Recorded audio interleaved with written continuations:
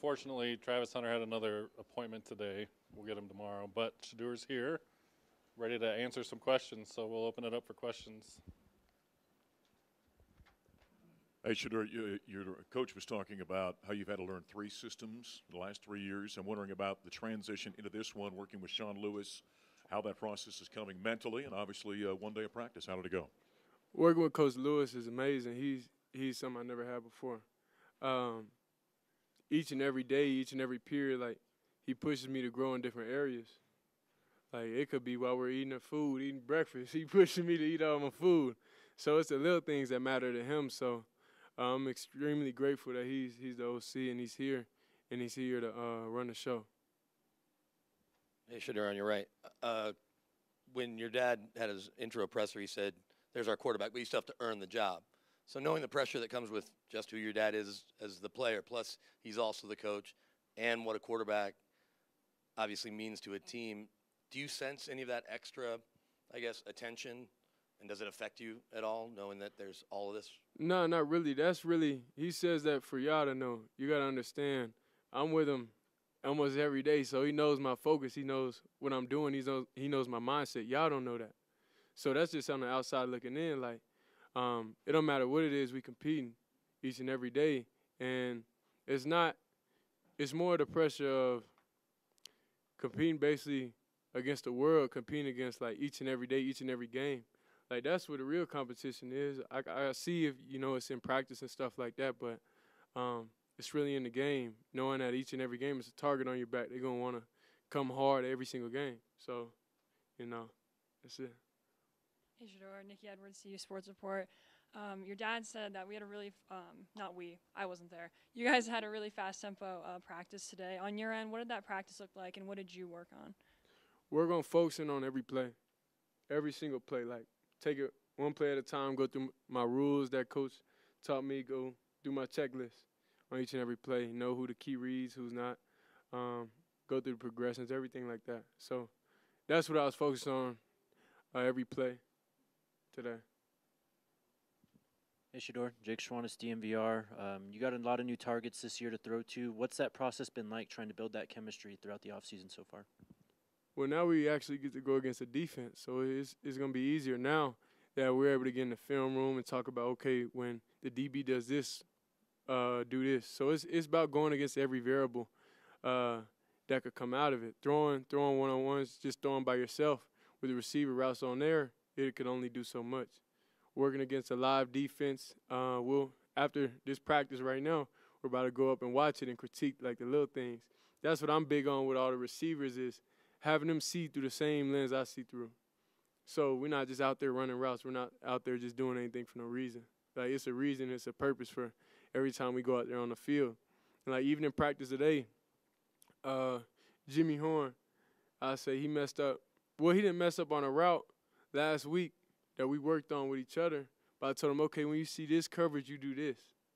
So then coverage presented itself today, and he did what I told him and then it's easy. So that's all. It's just about try and error right now with the offense.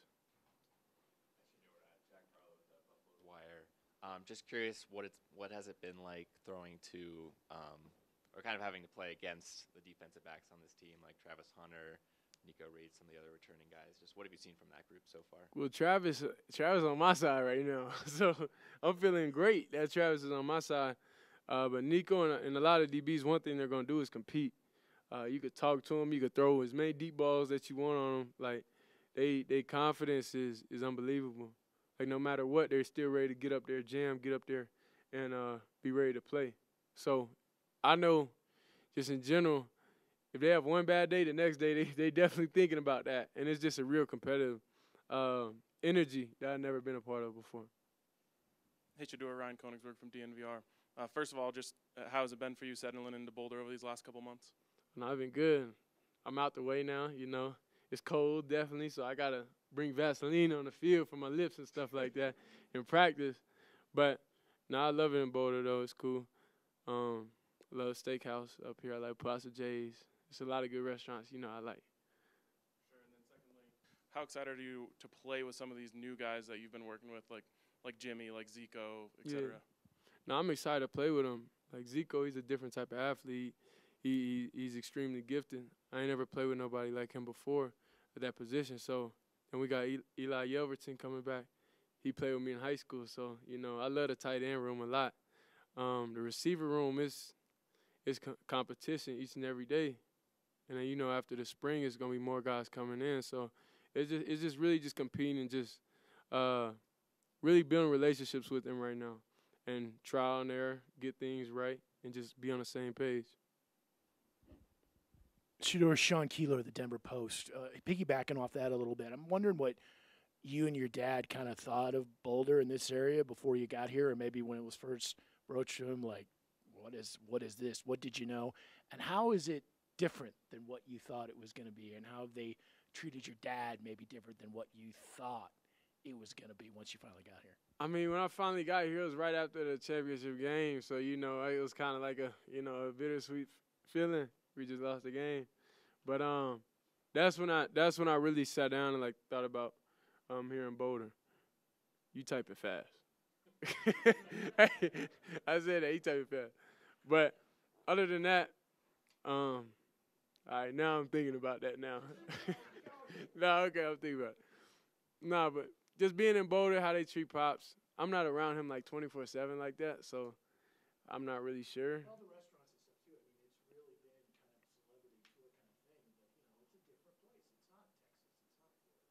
Yeah.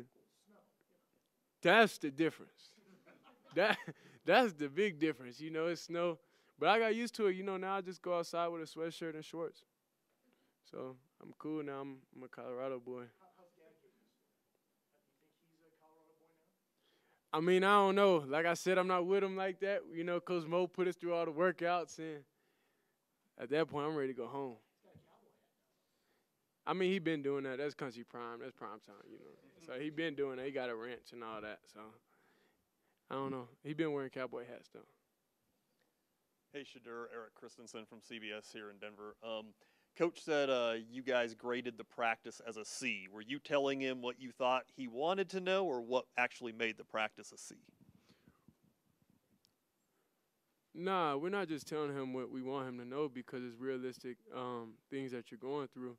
So it's a couple throws you miss, couple like assignments you miss. Like it's it's real attention to detail. So we know we know the little things we can't mess up on. We know that. So we grade ourselves hard. So when a game comes, it's more everything fluent.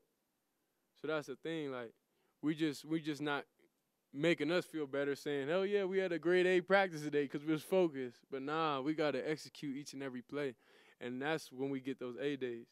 So today was a C. Well, they said D. I thought it was like C minus, but coach said D. It's D. You know what I'm saying? So, um, yeah, just really just coming out tomorrow and just focusing. And this the first day was that we was actually able to go against the defense full. So being able to get everything on film and teach off that that's that's major for us right now.